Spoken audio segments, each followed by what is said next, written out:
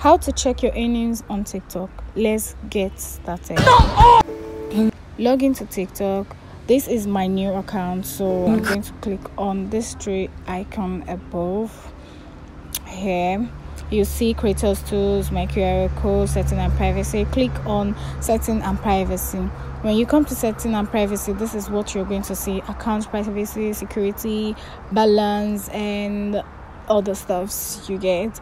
So you go to balance click on balance. This is where we are going to check our earnings and our balance on tiktok.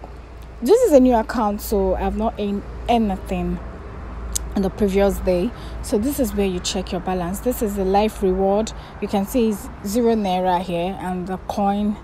And you have orders here it says no balance available because I've not started earning with this account. This is a new account I just created. Now let's go back to life reward. Click on life reward to see your daily um, withdrawal limits and also how you can withdraw your money. This is how it looks like there are loads of ways you can earn on TikTok, and that's what I'm going to talk about in my next video ways to earn on TikTok. Follow up my channel, subscribe to my YouTube channel to get notified whenever I drop a new video. Hope this video was useful. Love you, and please follow me on TikTok. Mwah.